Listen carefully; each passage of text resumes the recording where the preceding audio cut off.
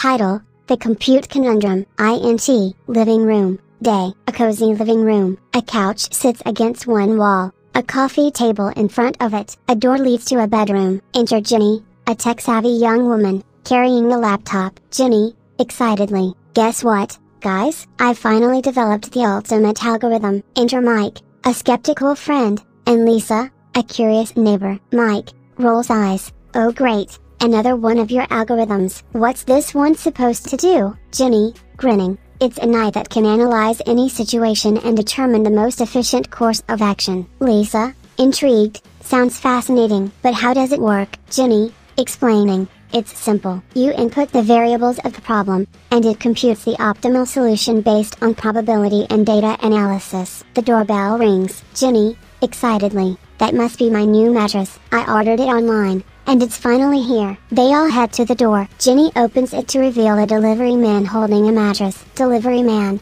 delivery for Ginny Thompson. Ginny, that's me. Come on in. The delivery man enters, carrying the mattress. Delivery man, where do you want it? Ginny, just lay it down in the bedroom, please. The delivery man heads towards the bedroom. Suddenly, Mike jumps onto the mattress playfully. Mike, laughing, wow, this thing is so comfy. Ginny's expression changes from excitement to concern. Ginny, panicked, wait, Mike, you can't do that. Mike freezes, confused. Mike, what? Why not? Ginny, frantically, because. Because.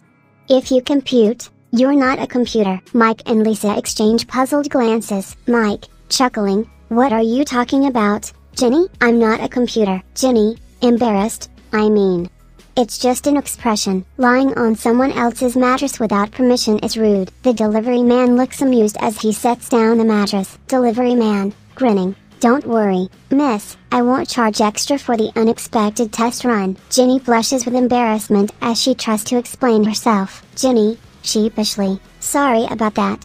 It's just a saying I heard once. They all share a laugh as Mike hops off the mattress. Mike, smiling, well, your mattress passes the comfort test. Ginny, Jenny, relieved, thanks, Mike, and thanks for not turning into a computer. They all chuckle as they help set up the new mattress. Fade out. End of scene.